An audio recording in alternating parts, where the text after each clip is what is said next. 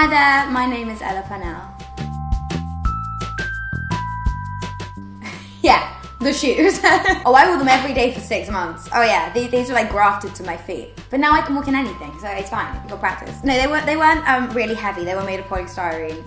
Um, but I went to about five or six different shoe fittings alone, literally just to fit the shoes. Because they were like Tim's favourite part of the whole outfit, so he had to make sure they were spot, and he's a very visual person. But then when we did all the underwater stuff, then those shoes were weighted. So I did actually get to experience the actual heaviness of the shoes. And we went in this big tank in Pinewood Studios, which was all green screened around. Um, and I had my, my wig and my dress and the weighted shoes and um, breathing mask and everything. You go down. It's all very safe and very measured, but it takes about a day to get one scene done. Oh, not even a day. Like it took us a whole week to get the underwater scene, and we had to take our contact lenses out under the water. So it was quite literally the blind leading the blinds. And they'd be like, Ella, look at Tim, and I'm like, where is he? I just couldn't see a thing.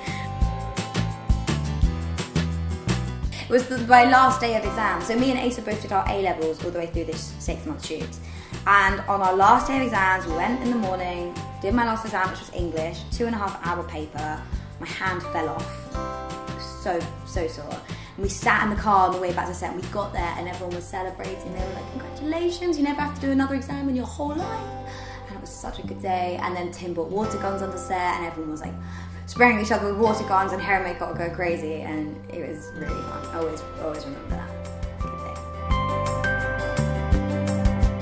Oh, I have many. I can wiggle my ears, I can raise an eyebrow, I can make, I can do a good duck impression. it's like my favourite thing. I do, it, I do it on the tube sometimes and people really freak out. They're like, stop. Yeah, uh, my granddad taught me how to do a duck impression when I was younger and and then I taught my younger brother, who is now 13. I taught him when he was like around the same age, like seven. And we're passing it on through the traditions. Um, this is seared into my soul. When I was younger, I used to have these very attractive pink glasses. I wear glasses.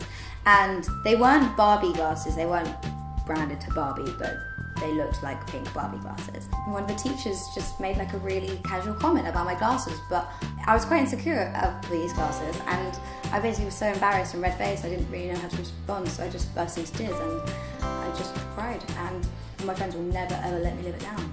Ever.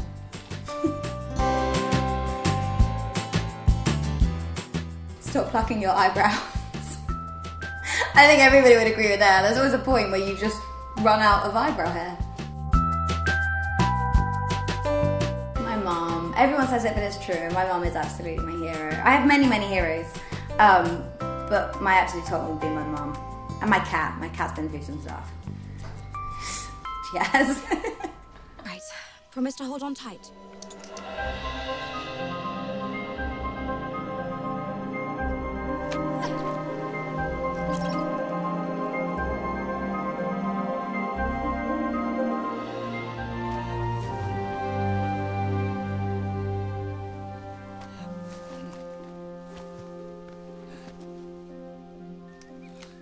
Come meet the others.